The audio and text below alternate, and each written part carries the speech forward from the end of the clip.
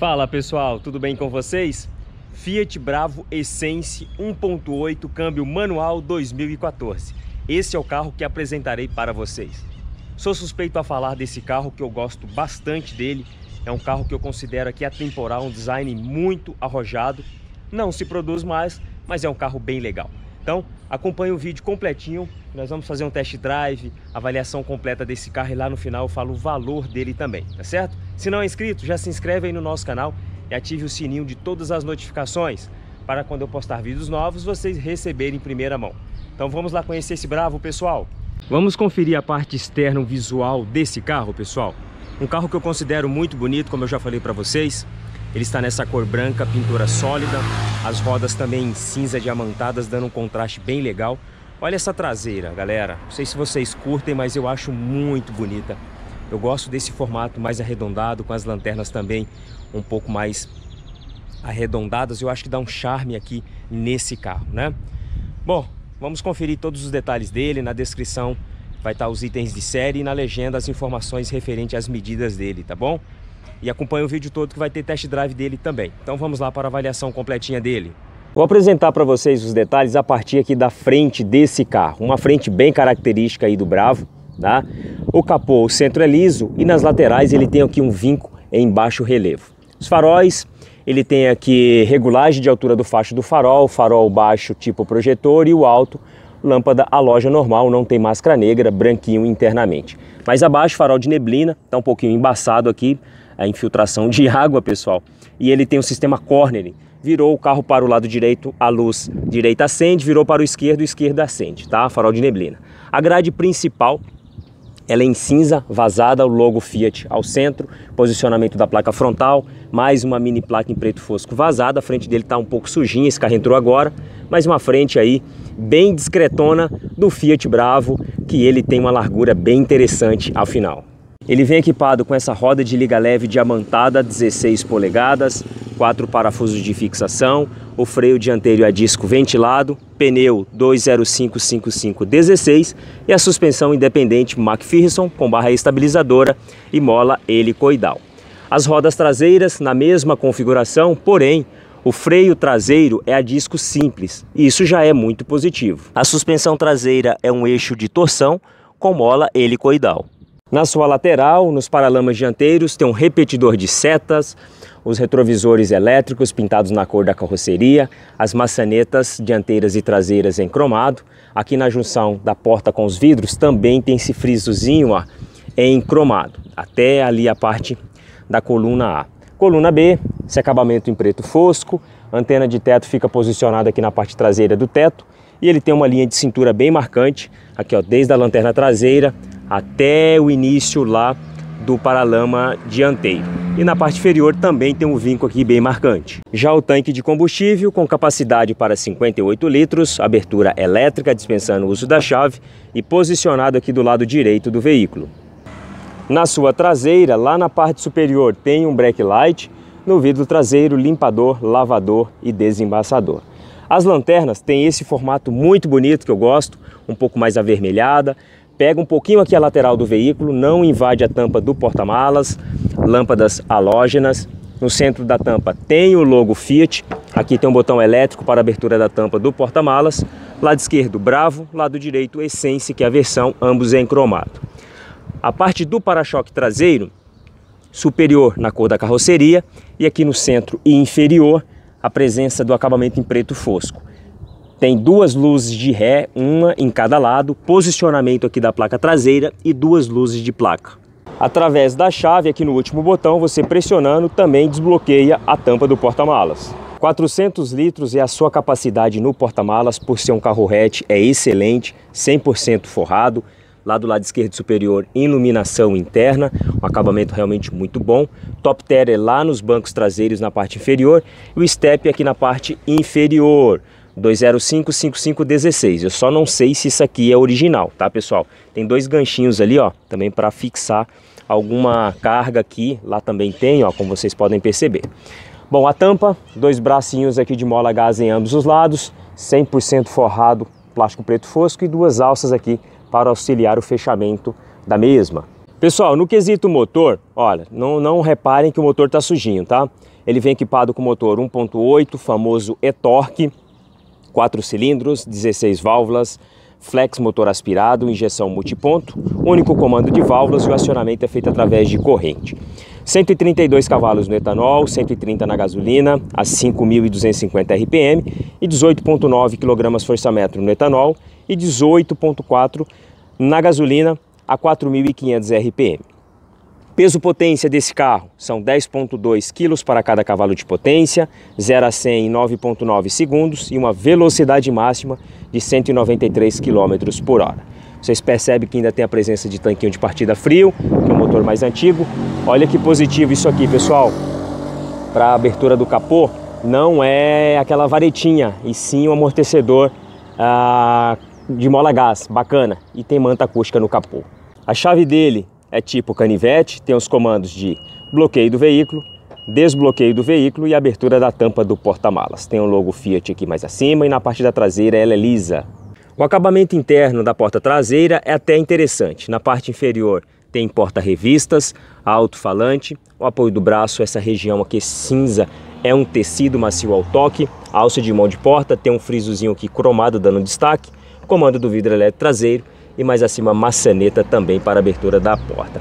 Essa parte superior também é, é um material bem diferente, não é macio ao toque, mas é bem interessante. Bom, o espaço interno traseiro desse carro é, deixa um pouquinho a desejar por, pelo porte dele, tá? Tem carros menores com espaço melhor, por exemplo, o Argo. Bom, o, os bancos em tecido tá um pouquinho sujos, não repare. O carro entrou agora na loja, bem confortáveis, tem alguns acabamentos bem interessantes, como vocês podem perceber. Isofix na parte inferior, cinto de três pontos para todos e apoio de cabeça também para todos. Aqui nas laterais, o banco tem rebatimento bipartido, ó. Vocês têm acesso ao porta-malas, beleza? E aquela parte lá rebate sozinho. A porta dianteira no mesmo padrão da porta traseira, porta-revistas na parte inferior, alto-falante, o apoio do braço tem um espaço maior, também aqui acabamento em tecido, alça de mão de porta e os comandos dos vidros elétricos traseiros, dianteiros, bloqueio dos mesmos e comandos dos retrovisores. Também a mesma fitinha aqui, é o frisozinho cromado. Mais acima, maçaneta para abertura da porta e aqui mais acima ó, tem um Twitter. Agora nós vamos dar uma verificada na parte interna frontal desse carro. Os bancos dianteiros na mesma configuração lá dos bancos traseiros, o banco do motorista tem regulagem de altura e o volante também tem regulagem de altura e profundidade. Volante multifuncional revestido em couro, direção elétrica. Além da direção elétrica, ele tem a função City aqui ó, para manobras que deixa esse volante, essa direção muito mais leve. Logo Fiat ao centro. Lado esquerdo tem os comandos aqui para o rádio de volume e deixar mudo. Do lado direito também ainda continua ali para seleção e telefonia, tá bom? Atrás do volante, do lado direito, tem os comandos para os limpadores dianteiro e traseiro. Lado esquerdo, os comandos para os faróis, farol alto, farol baixo e setas. E abaixo dele, ó, aqui essa alavanquinha é para o... Olha ali, ele tá vendo melhor, né? Para o piloto automático, pessoal. Por mais que ele é câmbio manual, e lá igual o Focus da Volkswagen, mas ele tem a função de piloto automático. Lado esquerdo do painel, saída de ar-condicionado, mais abaixo um pequeno porta-objetos. Aqui a alavanca para acionar a regulagem do volante. Tá vendo que ele tem essa configuração bem diferenciada, como se fosse uma fibra de carbono, ó, bem legal aqui no centro do painel, né? Toda a parte superior, material plástico rígido, porém um material muito bom, tá? Aquele mesmo acabamento ali da parte superior das portas, eu achei bem legal. Saída de ar-condicionado, tem um logo bravo aqui saída dupla de ar-condicionado na parte superior, pisca alerta. E aqui está o rádio dele, tá? É um rádio que você consegue fazer a conexão com o seu telefone. Né? Então tem entrada aqui de CD e tem todas as configurações. É um rádio já mais antigo, né, pessoal? Então a gente não consegue nem, nem explicar muita coisa para vocês, mas ainda é funcional, né? Aqui do lado ó, tem alguns recursos que depois nós vamos apresentar para vocês. Eu iria apresentar. Esse aqui é o as teclas para você acessar ali o computador de bordo. E aqui também você regula a altura do facho do farol, tá? Bom, mais abaixo tem o sistema de ar condicionado analógico com seus comandos aqui mais quente ou mais frio, intensidade da ventilação e a direção. Né, que também você consegue deixar, aqui você liga o ar e aqui você desliga, que é o sistema de desembaçador e recirculação da ventilação, tá? Ali dentro do console central, uma entrada USB, olha que interessante, ó. Vendo? Você puxa ali uma portinha uma entrada 12 volts. E no centro, câmbio manual de 5 velocidades mais a ré. Tem todo esse acabamento também lembrando a fibra de carbono, com esse detalhezinho em cromado. No console central, um pequeno porta-objetos. Aqui simula dois porta-copos ou garrafas, freio de estacionamento tradicional. O apoio do braço ele move um pouquinho para frente e abaixo dele tem um pequeno porta-objetos, tá? Já o porta-luvas existe aqui não sei para quê, tá pessoal? Isso aqui é uma crítica mesmo. Não tem espaço interessante nenhum. Ele tem iluminação interna, mas olha lá para onde é que fica. Você não consegue ter acesso, né? Quebra-sol do motorista com espelhinho, proteção e iluminação. Retrovisor interno é simples e aqui a luz cortesia motorista e passageiro. Ele também tem um dispositivo para quando você precisar guinchar esse carro, você aciona esse botão, pode bloquear o carro, que aí ele não dispara o guincho fazendo movimentação, o seu carro fica bloqueado, está travado. E aqui espelhinho com proteção e iluminação, porém a proteção está faltando. O cluster dele mescla digital e analógico, do lado esquerdo velocímetro, do lado direito RPM, na parte superior central, marcador de combustível e temperatura. Abaixo, pequeno display digital com alguns recursos que vocês vão ver agora, tá? Então tem quilometragem total, é, temperatura externa, hora também e tem alguns comandos ali bem interessantes. Vocês estão vendo que eu estou movimentando ali, ó, a altura do facho do farol. Tá vendo? Aí tem um menuzinho, você consegue ver a iluminação, bip de velocidade, luz corner, unidades do bip B, acertar a hora, regular data, ver rádio, auto close, unidade de medida. Então, várias informações, tá? Aí na tela principal, na, na, alavanca do lado direito, ali onde você regula os limpadores dianteiro e traseiro, você pressionando na pontinha dele, tem as informações, tá? Então ali, ó, consumo médio, você espera um pouquinho, ele vai aparecer o consumo médio, velocidade média, tempo de viagem. Então você tem que ir pressionando e esperando um pouquinho. A autonomia, por exemplo, ó, 143 km com o combustível remanescente no tanque, tá? É um computador de bordo mais antigo, você pode no início ter um pouquinho mais de dificuldade, mas pegou uma semaninha, você já tira de letra. Pessoal, vamos fazer um test drive nesse carro agora. Eu vou colocar ali na tela, no computador de bordo dele, consumo instantâneo e vamos ver qual vai ser a média mais ou menos que ele vai fazer aqui com a gente, tá bom? Bom, motorzão 1.8, robusto até demais, motorzão é torque. Ó, já vamos dar uma sapecada nele aqui. O carro que tem um motor mais potente, um apelo mais esportivo, a gente tem que sim explorar um pouco mais, não é verdade, pessoal? Mas é um carro muito gostoso, o centro de gravidade dele é bom. Ó, e ele no câmbio manual é um carro que ainda é aceito no mercado. Você partiu para o câmbio Dual Logic, que a meu ver não é um câmbio ruim, desde que você consiga usá-la corretamente, tá? você tem um câmbio aí por um bom tempo, mas o mercado precifica ele com câmbio dual logic como sendo um carro ruim como todos os outros carros aí que equipam é, que venham ser equipados com câmbio automatizado, tá? Então vamos pegar um trechinho ali para a gente dar uma explorada a mais, pessoal. Ó, uma puxadinha a mais nele aqui. 4.0 km com litro, está abastecido no etanol, 5, eu estou aqui a 80 km por hora, tá? De quarta marcha. É um carro que vai consumir um pouquinho mais? É, porque esse motor é torque, se você usar ele explorando muito, acelerando e freando, ele sim vai consumir um pouco mais. Mas se você usar ele mais progressivo, aceleração gradual e redução também da velocidade gradual, ele vai fazer uma média boa, tá? Eu tenho um, inscrito aí, nosso amigo João, ele tem um Cronos, ah, se eu não me engano, HGT, né, João? E você gosta bastante desse motor, e-torque. Então, tem muitos de vocês que preferem não os motores atuais, downsize 1.0, mas sim esses motores mais robustos, né? Esse carro, pessoal, para quem gosta de um apelo mais esportivo, não quer ter aquele desconforto de um carro 100% esportivo, de suspensão, essas coisas, esse é uma boa pedida, tá? Apesar que é um carro já mais velho, né, galera? Um carro 2014. Ah, o mercado hoje em dia eles, eles estão precificando esses carros mais velhos, principalmente esse carro que já entra com a categoria acima do popular, mas quem quer pagar aí um, uma faixa abaixo de um carro popular zero e ter um desempenho legal de um motor desse, de um perfil de carro desse de conforto, é uma boa pedida, tá?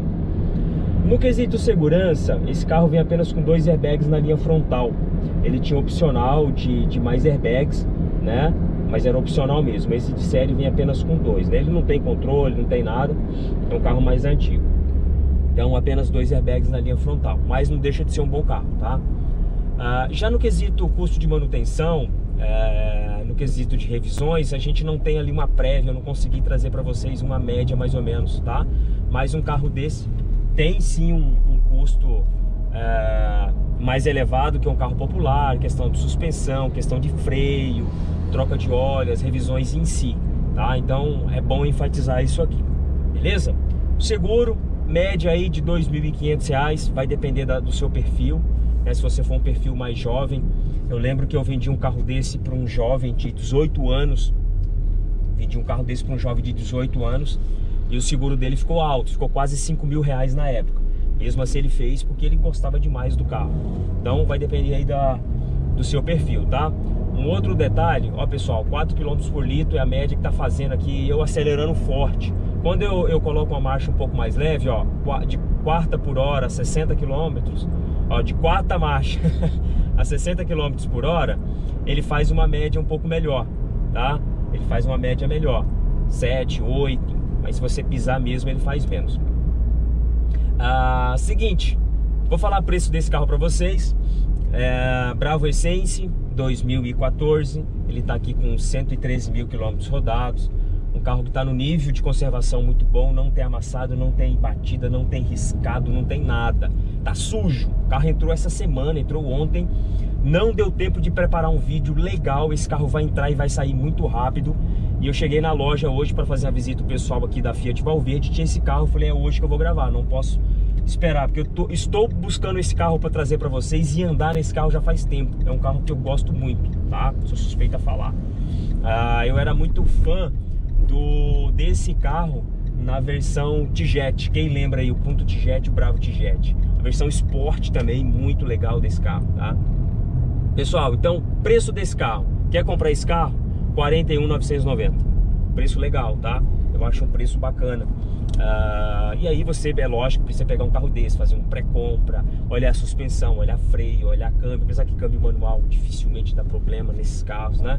Então fazer um, um, uma pré-compra aí bem certinha, porque o custo de manutenção desse carro é caro. Não adianta você querer comprar esse carro e falar que ah, é a mesma coisa do custo de manutenção de um Gol, de um, um Uno que você vai se estrepar, tá? Então, pessoal, 41,990, você leva esse bichão embora. Na descrição tem contato aqui do pessoal vendedor. Aqui na tela tem meu telefone também. Se quiser me chamar, fica à vontade. Eu dou um suporte para vocês, tá bom? Espero que vocês tenham gostado. Carro, olha, tenho que falar, o carro é muito bom, tá? É lógico que é um carro mais velho, tem seus defeitos, tem falta alguma coisa do tipo. Espaço, por exemplo, dele, ele é um carro maiorzinho, mas o espaço dele é limitado. Então ele tem um bom espaço de porta-mala, mas perde aqui dentro, por exemplo. Mas nada que desabone o carro. Quer comprar? Eu aprovo embaixo. Esse aqui no câmbio manual, que depois é mais fácil de você vender. Tá bom? Grande abraço a todos. Se não é inscrito, já sabe, se inscreve no nosso canal. Siga também lá no Instagram. Tá bom? Eu já postei isso aqui antes desse vídeo sair aqui no YouTube. Já tem lá no Instagram fotinha desse carro. Tá bom? Grande abraço. Tchau, tchau, pessoal.